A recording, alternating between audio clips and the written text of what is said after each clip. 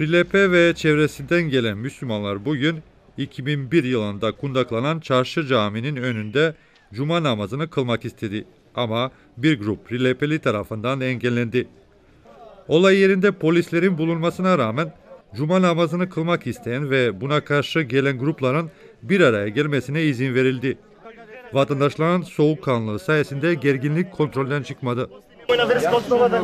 Čovjek, ej, Kiki, Kiki, evo, objekte je naše, objekte je naše, nemojte se bavati. Bizim nerede kılacağımızı söyleyemezsiniz. Haydi kılabilirsen kıl bakalım. Bu cami 1475 yılından bu yana buradadır. Burada bin yıl önce kiliseydi. Şeklinde gruplar arasında karşılıklı atışmalar yapıldı.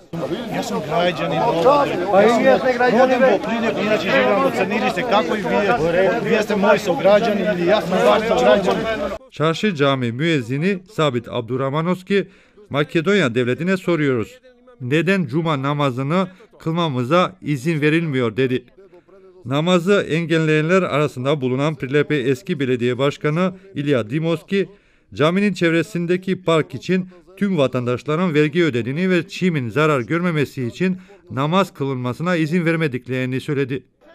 Namaz kılmak isteyenler ise bu yerin cami bahçesi olduğunu hatırlattı. Prilepe müftüsü Mustafa Topalovski elinde belgeleri göstererek Milli Konservasyon Merkezi'nin talebi üzerinde Kültür Mirası Koruma İdaresi tarafından caminin onarılması için izin verildiğini ve cami sahibinin Makedonya İslam Birliği'nin olduğunu açıkladı. Bu bağlamda Topalovski caminin kendilerine iade edilmesi için Başbakan, hükümet ve uluslararası topluluğa çağrıda bulundu.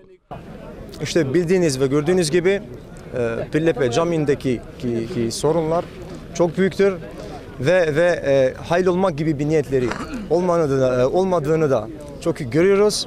E, sadece ve sadece bizim isteğimiz e, Türkiye Türkiye devletinden e, Cumhurbaşkanından ve e, diğer bakanlarından bizim isteklerimiz ki en kısa sürede en kısa sürede bize sahip çıkmalarını bekliyoruz. Belediye adına konuşan İlya Dimoski, yerel yönetimin tutumunun caminin onarılması ve galeri gibi kullanılması olduğunu, Roman asıllı Müslümanların yaşadığı Trizla'da ise inşa edilecek yeni camide ibadetin yapılacağını belirtti.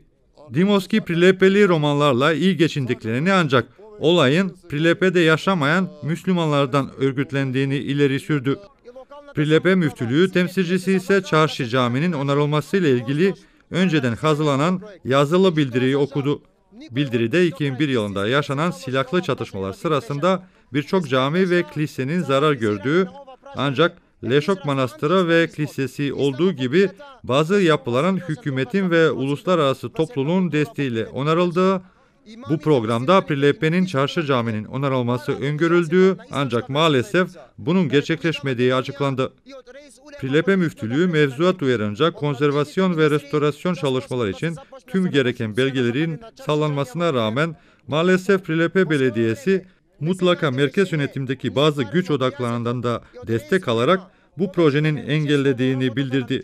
Bu sorunun halledilmemesini İslam karşıtlığı ve İslam fobisinin bir ifadesi olarak değerlendiren Prilepe Müftülüğü, Makedonya İslam Birliği Riyaseti ve Reis Ul Ulema'nın Çarşı Camii'nin bir an evvel onarılması için acilen yetkili bakanlıklarla temasa geçmesini, çözüm bulunmadığı takdirde dinler arası konseyine katılmamasını ve Ohri'de düzenlenecek din ve kültürler arası diyalog konferansına temsilci göndermemesini talep etti.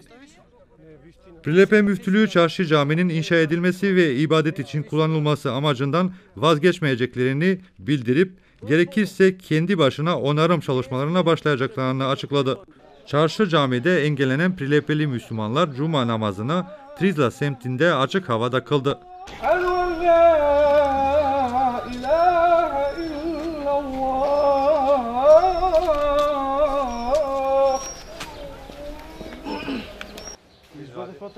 Sabit Abdurrahmanovski kente cami olmadığı için yurt dışındaki kardeşinin evini camiye dönüştürdüğünü açıkladı. Prilepe müftülüğüne göre bu kente eskiden Osmanlı dönemine ait 9 cami ve 9 mescit bulunuyordu. Kalanlardan Zibiya Camii, bir tekstil şirketi tarafından kullanılıyor. İbadet ise sadece çarşı camide yapılıyordu. Prilepe müftülüğünün kristal gece olarak değerlendirdiği 8 Eylül 2001'de Prilepe'de Müslümanların mal ve mülklerine saldırıldı. Bu sırada çarşı camii de kundaklandı. Camide bulunan müftülük merkezi ve tüm arşivi yandı.